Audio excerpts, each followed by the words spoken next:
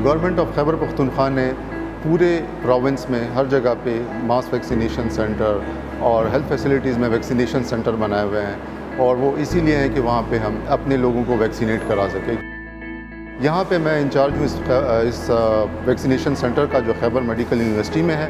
और यहाँ पे मेल और फीमेल के अलग अलग काउंटर्स बने। आठ हमारे पास काउंटर्स हैं आठ हमारे पास वैक्सीनेशन डेस्क हैं। आप किसी भी टाइम आ सकते हैं सुबह आठ बजे से लेकर शाम को दस बजे तक वैक्सीनेशन सेंटर खुला रहता है। इसी तरह बाकी भी जितने भी मास वैक्सीनेशन सेंटर हैं पूरे खैबर पख्तूनख्वा में वो आठ से दस तक खुले रहते हैं, जो मुख्तलिफ़ हेल्थ फैसिलिटीज़ में हस्पतालों में है, वो उनकी टाइमिंग के मुताबिक खुले रहते हैं। यहाँ पर बाकायदा आप जब आ जाते हैं तो सिर्फ़ it will take just thirty seconds thirty seconds लेते हैं आपकी डेटा एंट्री में, फिर उसके बाद हम आपको भेजते हैं फर्दर डॉक्टर के पास असेसमेंट डॉक्टर के असेसमेंट के बाद आपको वैक्सीन लग जाती है, फिर उसके बाद हम आपको ऑब्जर्वेशन रूम भेजते हैं। जो कि हेल्थ की तरफ़ से हमें हिदायत दी गई है कि जब कोई पेशेंट वैक्सीनेट हो जाता है, आप उनको अपने सामने बिठाया रखें। 10 मिनट तक खुदा ना ख्वास्ता अगर कोई रिएक्शन कोई बात हो कि हम आपको इधर ही ट्रीट कर सकें तो इस पूरी प्रोसेस में आपके सिर्फ़ और सिर्फ़ 15 मिनट भी नहीं लगते।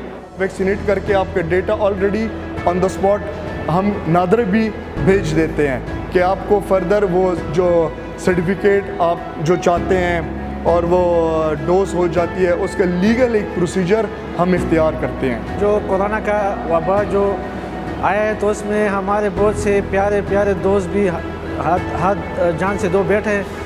तो इसलिए तो मैं इसलिए आया हूँ वैक्सीनेशन के लिए। स्पेशल पर्सन हूँ और जितने भी हमारे मौजूद अफराद हैं उसको भी चाहिए कि वैक्सीनेशन लगवा लें।